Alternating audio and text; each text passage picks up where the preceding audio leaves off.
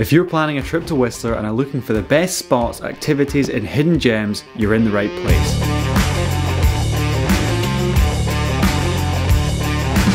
From skiing on world class slopes to hiking and biking through stunning forests to indulging in delicious food and drinks, Whistler is packed with endless activities and breathtaking sights that will leave you speechless. So grab your backpack, put on your hiking boots, and join us as we discover the must see spots and hidden gems of this amazing town. First on our list is riding the Peak to Peak gondola. This gondola holds several world records and connects Whistler and Blackcomb Mountains, providing stunning views of the surrounding mountains and valleys. The gondola ride is 4.4 kilometres long and offers a truly unique experience.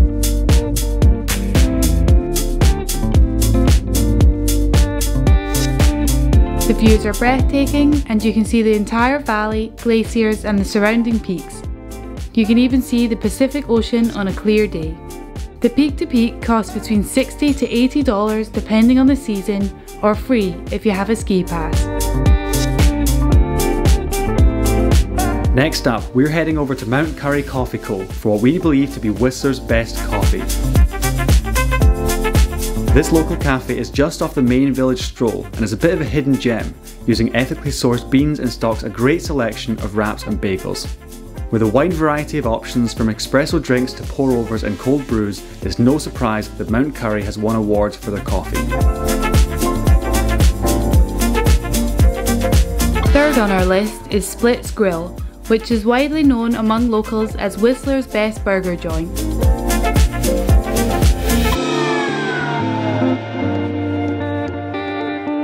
They have a wide variety of options to choose from, such as the poutine burger, the bacon buffalo ranch, and our favourite, the spicy lentil burger.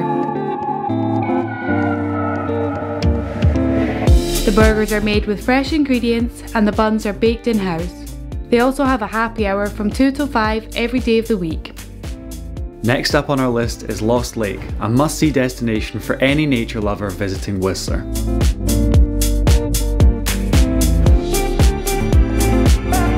This beautiful lake is worth visiting all year round and offers an escape from the hustle and bustle of the village.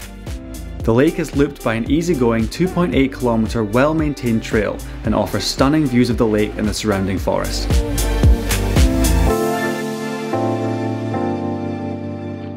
In the summer, Lost Lake is a popular spot for swimming, stand up paddleboarding, and kayaking.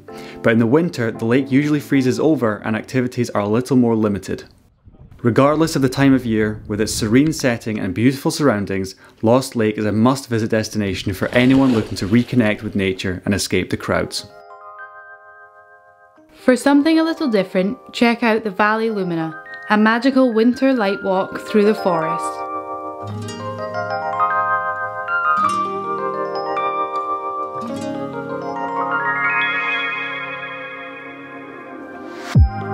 Filled with light displays, sculptures, and interactive elements, the walk is sure to be a magical and enchanting activity. Pretty magical!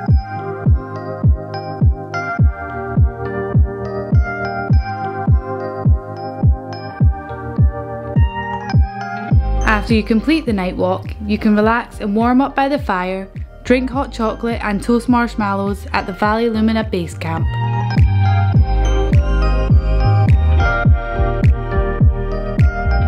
It's a great experience for families and children and is open both in the summer and winter months.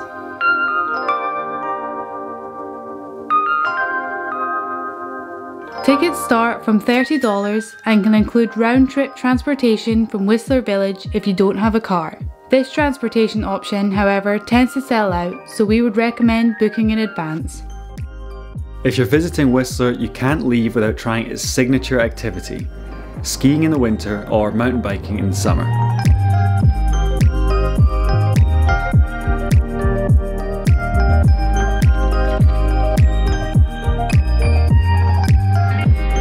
Whistler Blackcomb is famous worldwide for both, attracting crowds from all over.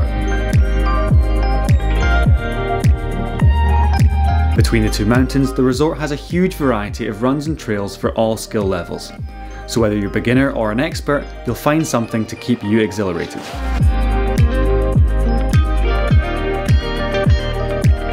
It's easy to rent both ski equipment or biking equipment in one of the many rental stores around the village.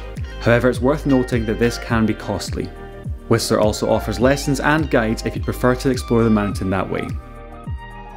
If you're looking for a fun night out, try your luck at Bingo Night at Tapley's Pub. The pub is a popular spot for locals and visitors alike, and it's a great place for some après ski after a day on the slopes. Bingo night is held every Tuesday and there are great prizes to be won, from short skis to mountain bikes. If you're visiting Whistler in the winter, don't forget to try the festive hot chocolate at the Four Seasons, perfect for warming up after a day on the slopes.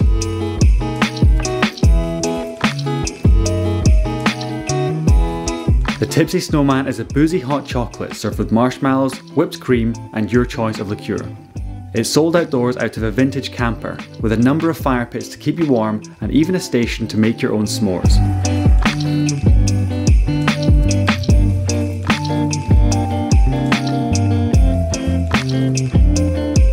It's available to both hotel guests and visitors, costs $15 each, and includes unlimited s'mores. Number 9 on our must do list is to visit the Trainwreck hike a unique and interesting hike lining the Cheakamus River through a beautiful area where a train derailed over 60 years ago.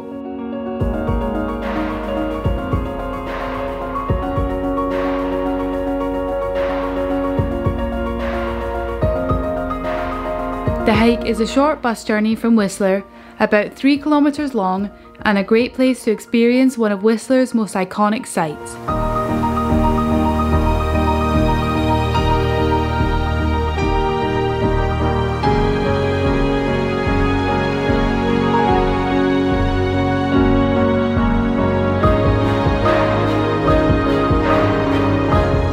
Hike includes a magical suspension bridge over the Cheakamus River before unveiling seven heavily graffitied train cars that were once used in a horror movie set.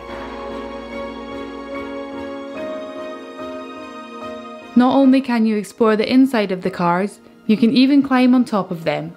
Not that we recommend it. The hike is a great place to see wildlife and one of our favourite ways to escape the crowds. If you're lucky enough to have access to a car and are feeling particularly adventurous, you could also take a trip to the Keyhole Hot Springs. Whistler, snow on the ground. Pemberton, snow on the ground. Sea to Sky Highway, snow on the ground. These are located out near Pemberton, about two hours north of Whistler.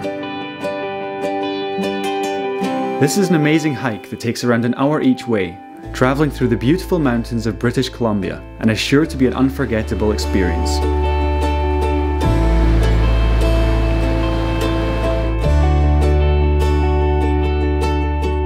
Be aware though that especially in poor conditions a 4x4 is recommended and the springs are closed completely in the summer due to the population of grizzly bears in the area. The hike takes you through some of BC's most stunning forests, over icy waterfalls and quite possibly some very deep snow, before arriving at three steaming hot springs at the bank of the Lillooet River. If you'd like to see more on this one, feel free to check out the full video on our channel. If you're visiting in the summer and are looking for an alternate activity, we would recommend the ATV tours, which out of the many excursions available in Whistler was definitely our summertime favourite. We hope you enjoyed our video and have a great time exploring all that Whistler has to offer. If you want to recommend any other activities, don't forget to drop them in the comments below and feel free to subscribe to our channel for more travel and adventure videos.